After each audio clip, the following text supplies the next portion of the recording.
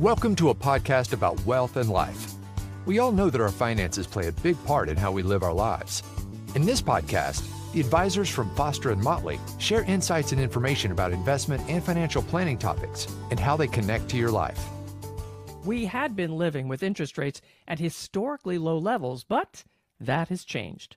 The Fed has raised its target rate several times this year and may do so again in an effort to deal with inflation. Foster and Motley's Dave Nienaber and Rachel Rasmussen note these increases are being felt not only in financial markets, but in our everyday lives. Uh, Dave, things had been pretty good for borrowers, but they've gotten a lot rougher, haven't they? Absolutely, Patrice. We are in a period of really significant change, and it's happened quickly in a period of six months. Uh, we've really seen the impact on borrowers and savers. We've seen that change quite a bit. You know, Rachel, you think about the previous environment, and it was a great time to be a borrower, but that's changed quickly, hasn't it? Oh my gosh, my have the tables turned. Interest rates are so important, not only to borrowing costs, but there are huge impacts to stocks, to other kinds of bonds like corporate bonds, to, to real estate, borrowing costs for real estate, whether you're investing or borrowing for your mortgage, all areas of the market are impacted by rates. So we're seeing something going down that's historically very significant and it's impacting people on a day-to-day basis in their personal finances. So it's really at the forefront of people's minds along with historically high inflation. Now we're trying to fight that high inflation with some higher rates. So i mean if you look at why these rates are fluctuating if you look at the short term um, in the short term, it's really controlled by the Federal Reserve. So they're setting the borrowing costs between banks on overnight deposits. And without getting too complicated there, they have a target that is much higher than it's been in several years.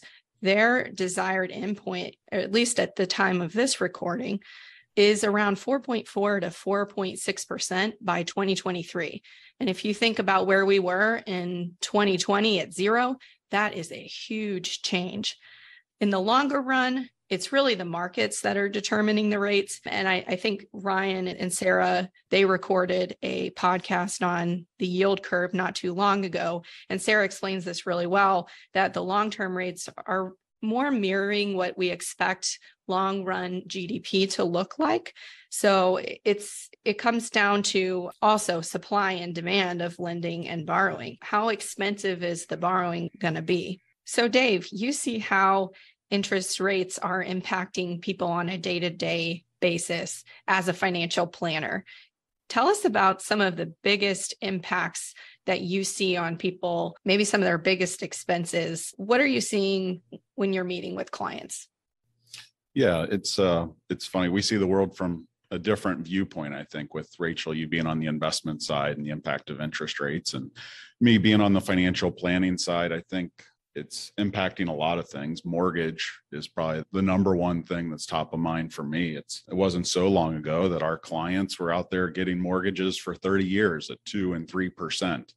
And that's changed really quickly. And now you're seeing rates six, even pushing seven percent. And you think of anyone's budget, the housing cost and servicing a mortgage, that's always at the top of the list. And the type of mortgages that we're seeing people take. When you could get money at two and three percent, why wouldn't you lock it up for 30 years and get a long-term mortgage? Um, it'll be interesting to see with folks that may stay in a house for seven to 10 years. Will they take out a 30 year mortgage? Maybe they do adjustable as rates go up to try to make it more affordable. To your point earlier, Rachel, what seems like oh heck 4% that's not a huge move but when you're coming off of zero it really is a big impact and we're seeing that with the mortgage cost. I have to think rachel that the increased rates are going to cool off housing. Can you explain a little bit of kind of how that works? If you think about how much goes to interest when you look at your monthly payment the higher the interest rate the more of your payment that goes to interest and not paying down your loan so, a big move in interest rates can really affect housing affordability because the payment on a monthly basis is going to go up as interest rates go up. I mean, one example of this, and Dave and I were talking about this earlier this week. I mean, if you are borrowing, let's say just $300,000 on a 30 year mortgage, and the mortgage rate used to be at 3%. Well, let's say now it's 7%. In the 3% example, your monthly payment was $1,265. So over the life of the loan, the total interest that you would pay is about 155,000. Compare that to say 7%, your new monthly payment is 1,996. So you go from 1200 to $2,000 wow, that hurts. And then the total interest rate that you pay over the life of the loan, it's not 155 anymore. Now it's nearly 420,000. It's 419,000. So you look at that and you say, wow, housing affordability is going to become even bigger problem than it was. And that tends to over time put pressure on prices because people just can't afford the house anymore. So you triple the amount of interest you pay, you nearly have 60% increase in the monthly payment. That really matters. Of course, yeah. it also impacts the equity. No, David? Yeah, and 700 bucks a month. I don't care what family you're talking to. That's real money. Um, and that is a huge increase going from a 3% to 7% mortgage. And to your point, Rachel, that you're paying more in interest and you're building equity slower. So I've seen that as kind of a key driver in housing prices. People were just, their house was growing and growing, and that gave them the equity to then go out and perhaps upgrade their home. And as rates go up, you're just not going to see that equity that's it's not going to build as quickly with these higher interest rates. Well, what about areas outside of your home, other areas that you're borrowing and say maybe a business loan or a rental property? Because a lot of folks are borrowing on those as well. Yeah, I think we're going to see rates higher than mortgages. So if mortgages are six and a half, seven, a lot of those are going to be eight, nine percent. Um, and unlike homes that you tend to have a 30 year or 15 year amortization. A lot of those loans, whether it's for rental property or a small business loan, are going to turn over every five to seven years. So you're going to start to see that impact of higher rates and higher bar- borrowing costs uh, hit them quicker than you are someone with a 30 year mortgage. The rates, they're going to impact a lot of other parts of the economy. It's not just housing. You're going to see it on cars. I think we all got lulled into thinking 0% car loans would be here forever. And now we're seeing the reality of four, five, six percent. And if you want to get a used car, it's going to be even higher. And if you have poor credit, it's going to be even higher than that. So it's not just housing, but uh, I think you'll see the impact of higher rates impact the uh, the car market as well. And of course, credit cards have always been high interest loans. We always encourage folks to pay those credit cards off on a monthly basis and not incur interest costs. But heck, those were at 16% as a national average, and that's quickly going up to 18%. So it's just impacting a lot of different parts of the economy. Man, and in investment world, you try to get a margin loan on some of your brokerage accounts. I mean, in the olden days, it felt like you were getting free money, borrow off of your investments. You can use a custodian like Schwab to kind of float you. Let's say you're in between a home and you need to kind of bridge the down payment margin loan has been a good way to go, or at least it has been.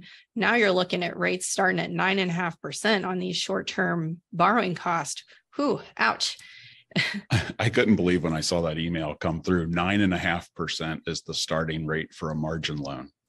Man, and if the market's going down because interest rates are causing some fluctuation in stocks, I mean, you don't want to get that call where you need to start selling to to kind of meet your minimum uh, threshold. You you don't want to get yourself in that position. So beware of market declines when you're borrowing on your investments. Um, but yeah, and that's been a popular area for clients to access equity and have some sort of a bridge loan, as you described, Rachel. But certainly, the environment of increasing rates and decreasing market values is can put uh, margin borrowers in a tough spot. What um, about with our client? How have they been dealing with some of these higher borrowing costs? Well, it's it impacts everyone a little bit different. Um, you think about housing costs for those that are locked in a 30 year mortgage, they'll never want to move. If they're paying two and a half or three percent interest, why would they ever want to move? No kidding. Um, Get comfy. so maybe uh, continue that trend we saw in 2020 of everyone focusing on home improvements and fixing up what they have as opposed to moving. The other area that I've seen interest rates impact our clients is around family loans.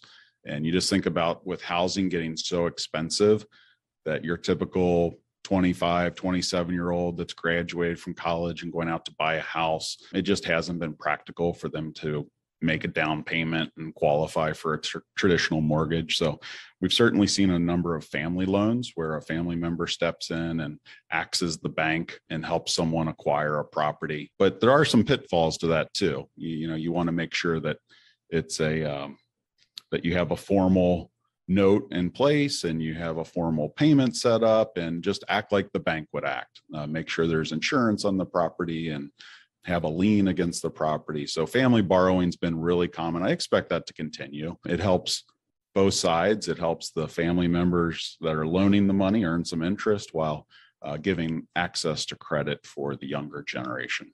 Oh, that's a good idea, especially dealing with some of the affordability issues that we were referencing. Absolutely. And we've seen it with the housing market and other parts of the country has been wild. So it seems like a lot of uh, help to buy homes in California and Colorado, much more so than here in Ohio. So it's not just borrowing, as we've kind of focused on so far with mortgages and family loans, but higher interest rates are going to impact your investments as well. So, Rachel, why don't you talk a little bit about cash, the thing that has earned zero interest for so long? What's going on in the cash world? Cash. Who's been talking about cash? Uh, now it's starting to get more interesting. Cash is an asset class. Go figure. So it's finally time to reevaluate your cash. So if you look at your bank account, the, many banks are still paying very low rates. And I have to say, they're probably earning a lot on that money. If you look at money markets at brokerage firms, you can see that they're north of 2%, now close to 3% just on wow. your cash. I mean, that's a huge change. That's completely different than where we were back in January. So you're finally getting paid to have cash in the bank, and that's a welcome change but it's not all banks, right? There's a lot of banks mm. out there that are still offering very little interest. Good point. It's time to kind of shop around a little bit, see what you can get, because now there's an opportunity cost of letting your cash just sit there not earning very much. So that's a big change. So, online savings banks, money markets, there's alternatives to the traditional bank savings account, correct? Yeah, and reach out to your team, to your advisor to talk about your options because we've been pretty active in portfolios. I mean, we've been thinking about ways to get some more money on cash. So talk to your advisor about how you might boost that that interest rate that you're getting because the the traditional banks, they're certainly not the only way. Yeah, and I have to think those the continued increase in rates, it impacts cash, but it seems like it it's impacting bonds as well. Can you talk a little bit about the current bond market and how quickly this has occurred? Oh my goodness gracious. The bond market this year has been pretty crazy. I mean, when you listen to the news, it's all about what's happening in stocks, you know, because stocks, well, they're down a lot more than they they have typically been, but the bond market is even crazier if you look at the past 40 years, this is probably the most interesting the bond market's been in a long time. Um, so in bonds, there's a relationship between interest rates and the price of bonds. As interest rates move up, well, they start looking more attractive. But what about all those bonds that were already out in the universe? Those are paying lower coupons. Yeah. Who wants my 2% bond if you can go out and get a four or 5% bond, right?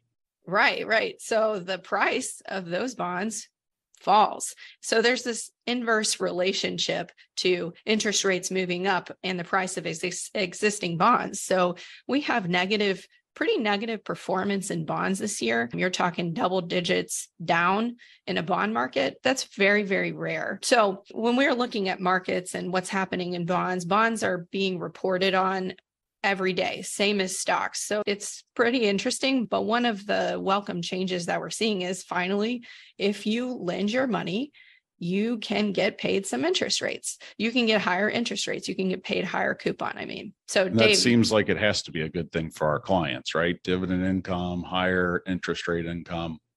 It's about time. We were, we've been looking at income and how it relates to portfolios for some time. You know, if you're taking withdrawals out of your portfolio on a monthly basis, well, to the extent that that withdrawal is being covered by just the cash flow from interest and dividends, the better off you're going to be because you don't have to sell in a bad market you can just get that cash and kind of replenish what you need to take out on a monthly or quarterly basis. Higher interest rates just improves that affordability. So we're pleased to see it. I mean, it's in our view, it's probably been a long time coming, but we're seeing it and we're seeing it in a hurry. So so it sounds like some short-term pain for some longer-term benefits with higher rates, right? Exactly. I mean, you look at stocks and you look at bonds, and you, our market commentary has been that those areas have been expensive. They've been expensive for quite some time, and that has always been buoyed by low rates. Well, now that the rates are going up, stock valuations have come down, bonds have gotten more of more uh, attractive. So we think it's a good thing in the long run, but my has it been painful in the short run? So we often hear from clients, you know, what's going to happen to interest rates? Tell me a little bit about predicting what's going to happen with rates and how we think about that. It's really difficult to predict what will happen with rates. So you can sit at zero and say, well, we think it's going up. And I think maybe that was a pretty good bet to make. But the market is constantly pricing in where the where it thinks that interest rates are going because rates are ebbing and flowing is the same way that they do in stocks. You look at the short-term rates right now and they're pretty high. You go back to the over 4% um, short term target that we have. Well, you look at the longer term and the rates don't look as good. So, really? So, you give someone money for a longer period of time and you don't get paid more for that extra risk you're taking on? Yeah, that's a bit of a head scratcher, isn't it? It's what they call yield curve inversion. Oh boy, let the jargon start now. You know, we can get really nerdy on this, but just at a high level, it, it means what I just said the long term bonds are paying you less than the short term bonds. Generally, the curve, yield curve, how much you get paid on short term versus long term, and it kind of just gets graphed out. The longer term bonds pay you more. So the yield curve looks steep. Right now, we have the opposite of that. Short term rates are higher than the long term rates. And that just means that expectations in the future are lower. And it's generally been an indication of a recession. To, we did have some of our colleagues, as I mentioned earlier, they did a whole podcast on this and obviously went into a lot more detail than we'll go about here. But it's not just interest rates. It's not just the yield curve. It's not just short-term rates that that matter. You also need to understand credit quality, the, whether a bond is taxable or not. And um, that also impacts how much you get paid for a bond. It's not just the base rates that you get paid in a treasury. You need to also look at the credit quality of the issuer as well. You know, we can talk all day about bonds, right, Dave? yeah, and it's no different for borrowers and savers. Those that have worse credit have to pay higher rates for that higher risk that you take on. And when you're lending money, it's that same dynamic. The better credit quality, the lower the rate. And if it's not as good, then obviously you have to pay more for the market to purchase that. So uh, let's talk a little bit about stocks too. The relationship between interest rates and bonds seems pretty clear. Help me understand how interest rates can impact stocks over time as well. Well, stocks are riskier than bonds. And it hasn't seemed that way when the stock market has just gone up, up, up, up. Well, that's obviously changed this year. Interest rates, if they impact bonds, then they are going to impact stocks. You kind of look at the trade off between a bond versus a stock. A lot of stocks pay you some yield as well. They'll pay little payments called dividends. And now investors are looking at that and saying, well, do I want some dividend yield or do I want this higher interest rate? Well, for the longest time, they were about equal. And now bonds are finally paying higher yields than stocks. So you look at a riskier investment like the stock market, you compare it to a safer investment like bonds, and you say, well, okay, bonds are starting to look more attractive. And as such, you have a lot of money flowing out of stocks and starting to go into bonds or cash or safe havens for people who are following the the weather pattern, so to speak. So, but there's a trade off. There's a trade off because stocks are riskier than bonds. The price fluctuations in stocks are higher than in bonds general, generally, but bonds and bonds pay out first in the case of a bankruptcy. So let's say a company goes bust, it's the bond holders who are going to get paid. The stockholders are going to be left with nothing if the equity in the company isn't worth anything. But why do you take the risk? Well, the longer term return profile is better for stocks than bonds. So it's kind of this uh, trade off we have to keep in mind. Yeah, and a 4% bond is better than a 2% bond when you're the one lending the money. But if inflation's at 8%, are you just losing safely? Good point. Good point. I kind of think about our, we were talking about borrowers and the amount of interest that they're paying. Well, think about the money that that these companies are paying. They have to borrow too. They Absolutely. have their own quote, quote, mortgages to pay. They have to borrow money to fund projects. They so their cost of capital, as as it's called, has gone up. That impacts expenses, and therefore that floats down to the amount of earnings and future cash flows. So, without going too much in the weeds on that, higher interest rates can put pressure on stock prices. Well, we've uh, clearly seen that interest rates permeate all facets of our financial lives, whether it's individuals, borrowers, savers, companies, individuals. It's just a, a, really wide impact that we've seen with these increasing interest rates. Are there any silver linings in these higher rates, Rachel? I mean, yes, I think so, Dave. You look at the what savers and investors are finally getting rewarded with. It's better yields, it's better prices for stocks than before. I mean, all of that is contingent on how earnings hold up, of course, but it, this has been long overdue. We've been in a period of 20 years of interest rate decline. And now we're seeing it's kind of painful to go up the other side of it but it's a correction to more reasonable valuations. And that is certainly welcomed by us and by investors. Yeah, for the longest time, the last 20 years, you say it's it's really favored the borrowers and now it's the tables have turned and the savers are getting paid something. It would sure be nice though if the change were a little more gradual. I think a lot of people are really shocked and maybe even scared about what's been happening. Yeah, and until inflation gets under control, that right. rapidly rising rates is what the Fed's using to try to get that get inflation cooled off. Yeah. Shocks in inflation, shocks in interest rates can make markets a little bumpy. A little, a little, a little, a little slash a lot bumpy. But hey, we're long term investors. We're here in it for the long haul. And most of the people we work with are too. So we'll get through it. Rachel and Dave, how can somebody reach you if they want to discuss this some more? Sure. You can find out more about Foster and Motley at our website, www.fosterandmotley.com. And we can be reached for those that still use a phone. Our phone number is 513 561 6640. And for more on this discussion and many other topics, follow this Foster and Motley podcast about life and wealth. If you found the information intriguing, thought provoking, please share with others. I'm Patrice Sikora, and thanks for being with us.